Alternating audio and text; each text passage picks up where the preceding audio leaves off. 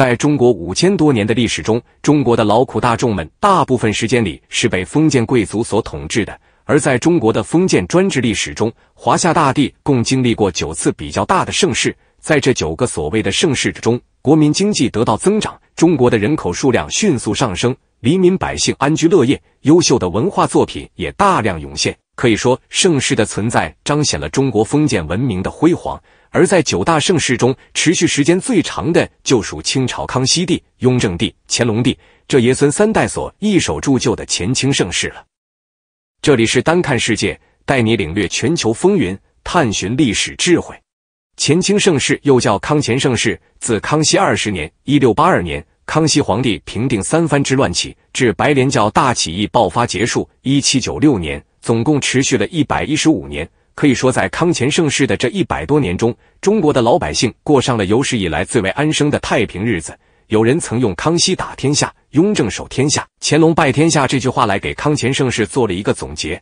因为据史料记载，康熙皇帝驾崩后，清朝的国库中只有八百万两白银；而雍正皇帝死后，他给儿子乾隆却留下了六千万两的遗产。但是等乾隆归天后，这六千万两竟然一分也没留下。雍正帝的六千万两遗产，真的都让乾隆爷败光了吗？乾隆难道真的连一个字儿也没给自己的儿子留下吗？康熙帝是清朝入关后的第二位皇帝，康熙他老爹顺治英年早逝，才二十四岁就撒手人寰了。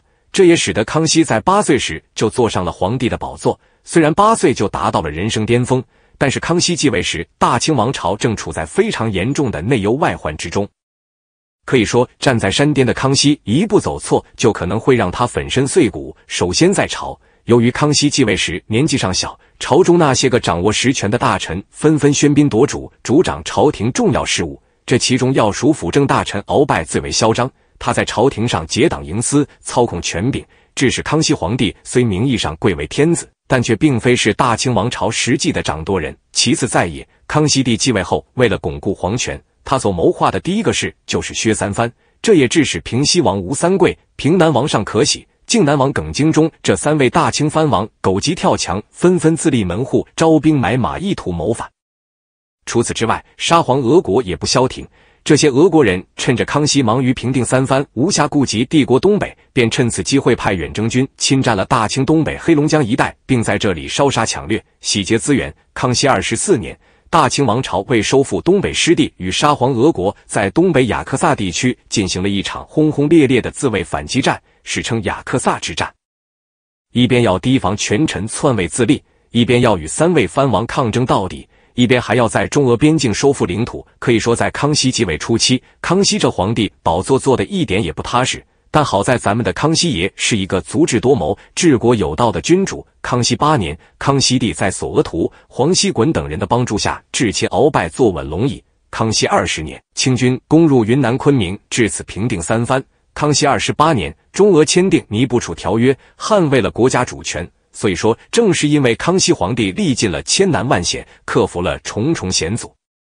这才奠定了康乾盛世社会基础，但是奠定这牢固根基的手段主要还是战争，而战争就要花钱，所以康熙在位时，清朝的财政支出一直非常巨大，这也使得康熙朝末期国库空虚，以至于在康熙帝驾崩后，雍正爷继承的遗产仅仅只有可怜的八百万两白银。康熙六十一年，康熙皇帝病逝，他的四皇子胤禛继承了大统，成为了大清王朝的第五位君主。历史上，雍正帝一直是一个毁誉参半的人物。有人说他是明君，正是因为他大刀阔斧的施行改革，才有了清朝中期的经济腾飞。但也有人说他是暴君，说他冷血无情、手足相残，是父篡位。但是在历史文献中，人们的确找不到雍正帝是父篡位的证据。但是他成就清朝中兴，却是实打实的现实。康熙末期，清朝经济萎靡不振的一大症结，就是官员的贪腐。因为清朝的官俸制度继承的是明朝的低薪养廉。据史料记载，清朝的一个总督一年因工作需要所花费的银元大概在两万两左右，而朝廷给总督大人的俸禄却是一年一百五十五两白银。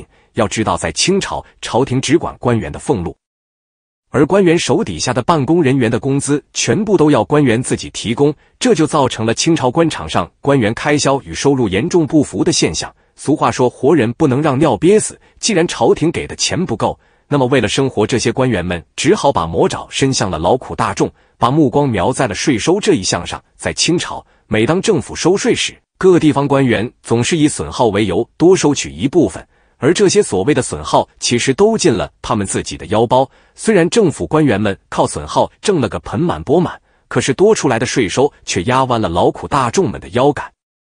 久而久之，越来越多的农民因交不起税收而把土地卖给官员地主。需要注意的是，在清朝，官员地主是不用上税的，这也就导致了康熙末期农民交税的土地越来越少，官员地主免税的土地越来越多，致使清政府的财政收入连年减少。雍正皇帝继位后，一针见血地点出了这种症结，随即出台了火耗归公制度、养廉银制度、一体当差、一体纳粮制度。雍正出台的政策，一方面让各地政府官员不能再以损耗为由施行贪墨，另一方面，政府会将集中管理的损耗费用抽出一部分用作官员们日常工作的支出。这样一来，官员们的财政支出压力小了，生活压力小了，豁出命来搞贪腐的动力也就小了。这新政虽好，但却触碰到了士绅集团的利益。这也使得当时的很多大臣纷纷建议雍正推行新政，不要这么激进。但是咱们的雍正爷力排众议，坚决的要搞好新政。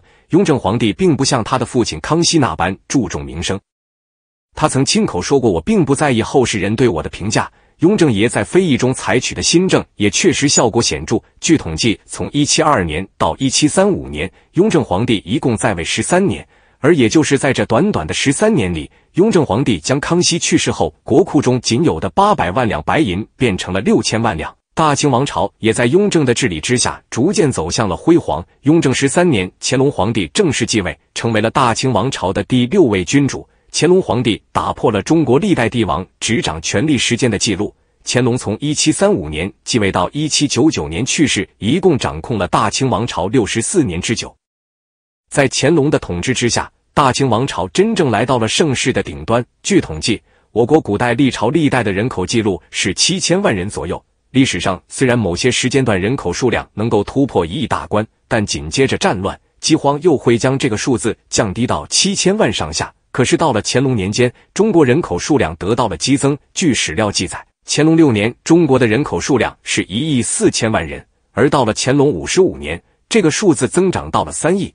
也就是说，乾隆在位期间，中国的人口整整翻了一番，这不得不归功于乾隆治理下的大清社会稳定、经济繁荣。所以，许多人将乾隆称为千古明君。但是，这位千古明君却是一个实打实的败家子。当年雍正皇帝去世时，乾隆得到的遗产是六千万两白银，这雄厚的物质基础也让乾隆皇帝的前期执政顺风顺水。毕竟有钱就是好办事，可是到了乾隆末期，这位勤勤恳恳当了几十年皇帝的老头却开始变得骄奢淫逸起来。他花费了大量白银，大肆修建圆明园。他一生六下江南，每一次都要花费上千万两的白银。他重用和珅，默许他大搞贪腐，以至于乾隆末期，清朝官场贪腐之行盛行，从而导致了白莲教起义的发生。乾隆这种骄奢淫逸，虽然败光了老爹雍正留下的家底。但是他也给他的儿子嘉庆留下了特殊的遗产，这个特殊遗产就是清朝巨贪和珅。嘉庆四年正月初三，十全皇帝乾隆在养心殿去世。就在乾隆去世后的十五天，大贪官和珅被嘉庆皇帝赐死并抄家。据史料记载，和珅家中被抄出的金银细软、古董名画数不胜数。另外算上和珅名下的房产、店铺等不动产，和珅一生总共贪没了大约十五亿两白银。这些财产在和珅死后全部被嘉庆皇帝责令充公了，所以说乾隆并不是一个子儿也没给儿子留下，恰恰相反，乾隆给嘉庆留下了足足十五亿两白银的遗产，这可是他父亲留给他的二十多倍。康乾盛世为中国社会带来了极大的繁荣，使得当时的中国成为了世界范围内真正意义上的天朝上国。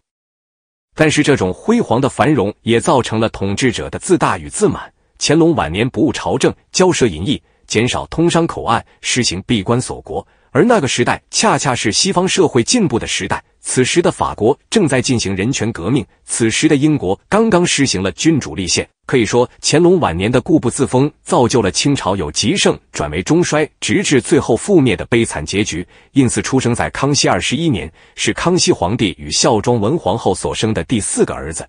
他的成长环境饱经历练，早年受到父皇的倚重。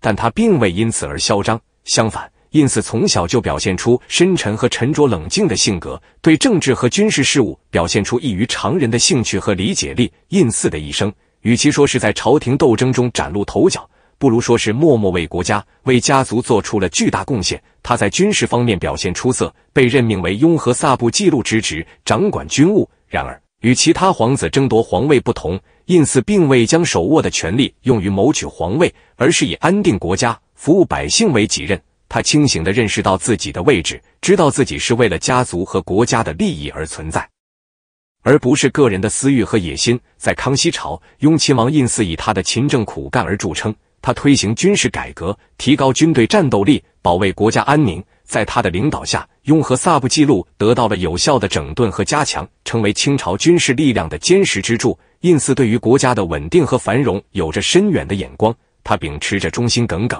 鞠躬尽瘁的信念，始终以家族和国家的利益为先。胤祀在朝政上也表现得相当低调，他不插手权谋斗争，不参与争夺皇位的风波，而是默默为康熙朝廷的稳定和运转做出了自己的贡献。在康熙晚期，他受到康熙皇帝的信任，多次被任命为摄政王，管理朝政事务。他以温和明智的态度处理政务，保持了朝廷的稳定，受到了百姓和官员的一致好评。然而，真正让胤祀声名显赫的时刻是在乾隆时代。乾隆继位后，他对雍亲王胤祀极为尊重，多次向他请教政事，甚至让他主持太和殿大典，展示了对他的深切敬意。这种尊重不仅源于胤祀在政治和军事上的卓越才能。更体现了他在家族和国家利益上的无私奉献。胤祀始终奉行低调务实的原则，使得他在乾隆时代依然能够保持重要地位，为国家的长治久安起到了积极作用。雍亲王胤祀的一生是中国历史上少有的低调而充实的篇章。他没有争夺皇位的野心，没有陷入宫廷斗争的泥淖，而是默默为家族和国家默默付出。在南京郊外的紫金山下，有一座神秘的陵墓，静静矗立了六百多年。他不仅从未遭受过成功的盗掘，甚至连清朝的康熙、乾隆这样的帝王也亲自前来跪拜。